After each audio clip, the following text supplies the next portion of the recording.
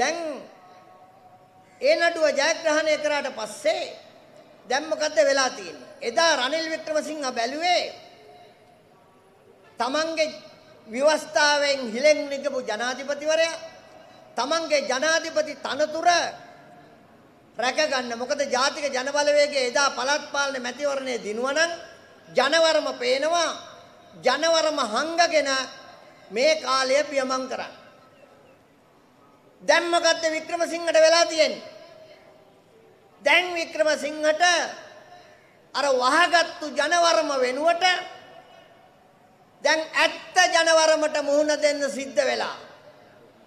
මෙන්න එළවෙන 21 වෙනිදා ලොකු පරීක්ෂණයක් තියෙනවා.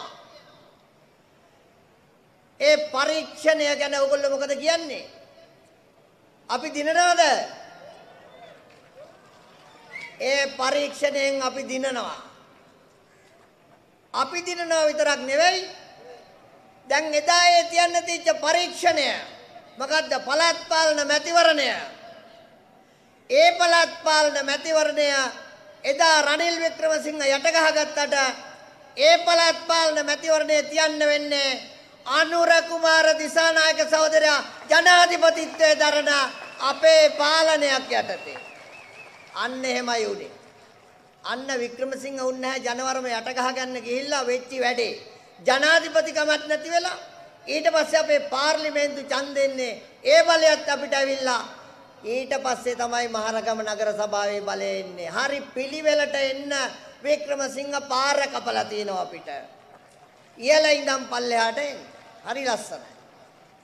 දැන් මොකද වෙලා තියෙන්නේ? දැන් එක සුවිශේෂ සිද්ධියක් වෙමින් යනවා. දැන් මේ මැතිවරණයේ කණ්ඩායම් දෙකයි එකක් දූෂිත කඳවුර අනිත් එක අදූෂිත කඳවුර. දැන් මොකද වෙලා තියෙන්නේ? දූෂිත කඳවුර තමන්ගේ පරාජය පිළිගනිමින් යනවා. ටිකෙන් ටික ටිකෙන් ටික එහෙම එනවා.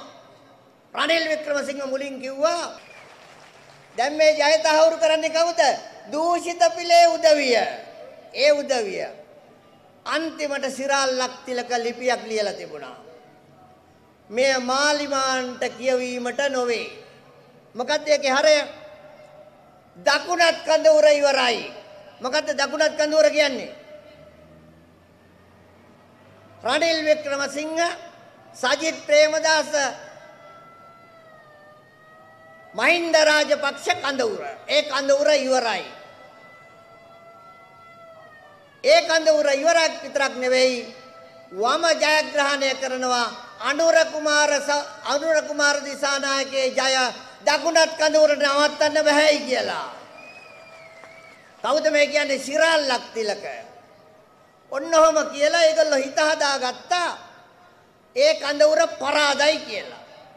ඒ කඳවුර පරාදයි කියලා තිනකොට තමයි මහරගම තරුණ සේවා සභාවේ ගෞරවනීය ස්වාමින් වහන්සේලා 3000කට අධික පිරිසක් ඇවිල්ලා සමුළුවක් පැවැත්තුවා. ඊට දවස් කිහිපයකට පස්සේ පීඩී සිරිසේන ක්‍රීඩාංගණයේදී කාන්තාව 30000ක් වාඩි වෙලා සමුළුවක් පැවැත්තුවා. දැන් අර පරාජය පිළිගත්ත විතරක් නෙවෙයි ඒක කේන්තියක් බවට දකුණත් කඳුරට ආවා. කේන්තියක් බවට පරිවර්තනය වෙන්න ආව යකෝ ජයග්‍රහණය කළා සද්ද නැතුව ඉන්නේ නැතුව මේ බලහන්කෝ දැන් අපිට බලය පෙන්වන්න හැටි කියලා. දැන් අර ප්‍රවීණ කලාකරු කම්මල්ල වීර මහත්තයා කිව්වා වගේ රාජිතට කේන්ති ගියා දැන්. රාජිතට කේන්ති ගිහිල්ලා කිව්වා ඊළඟ කඳවුර තමයි කාන්තාවන්ටත් එහා ගියපු කඳවුරක් තව එන්න ඉන්නව විද විදේශගත ශ්‍රී ලාංකිකයෝ. ඒගොල්ලන්ව බය කරන්න ඕනේ. ඒගොල්ලන්ව බය කරන්න ඕන කියලා දැන් මොකද්ද කරේ?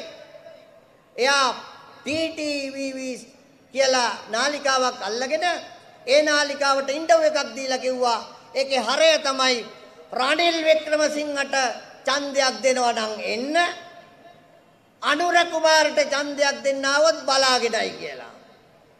අද හවස මමයි හඳුන්නේ නැති සහෝදරයයි ගිහිල්ලා ඒක ගැන පැමිණිල්ලක් කළාව මැතිවරණ කොමිසමට.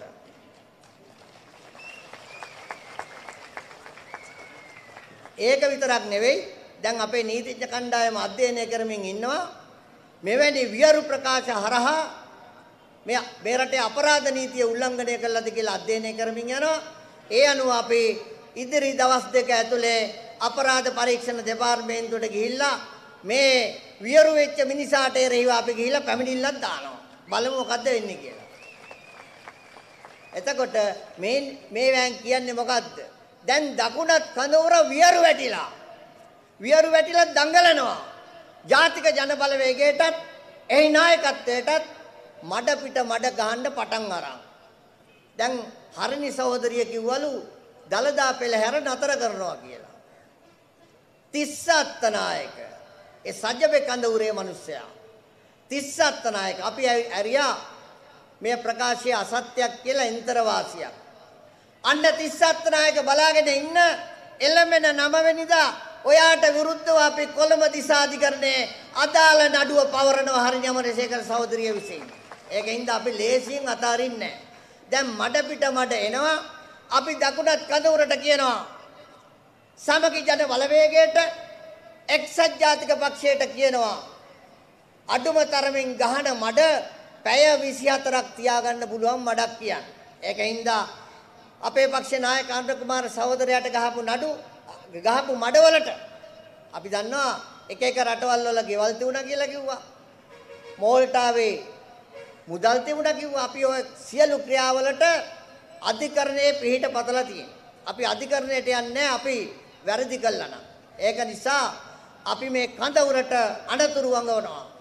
දැන් ඕගොල්ලෝ පරාජය පිළිගෙන ඒ පරාජය පරාජය ඉවසා දරා ගන්න බැරුව වියරු වැඩ කරන්න එන්න එපා.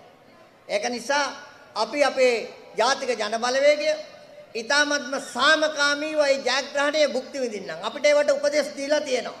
ඒකින්ද මේ මේ අපි දිනලා ඉවරයි අපිට කෙලවර කරන්න වෙන්නේ විජයග්‍රහණයකින් අන්නේ විජයග්‍රහණයෙන් විජයග්‍රහණයකින් කෙලවර කරන්න નિયમિતව ඉන්නේ එළවෙන 22 වෙනිදාට එළඹෙන 20 වෙනිදා නියත ජනපති නමවන ජනපති අනුර කුමාර දිසානායක සහෝදරයා කියලා මතක් කරමින් ඒ සඳහා තමුන්නාන්සලාට ශක්තිය ලැබේවා ධෛර්ය ලැබේවා ජාතික ජන බලවේගයට ජය වේවා කියලා ප්‍රාර්ථනා කරමින්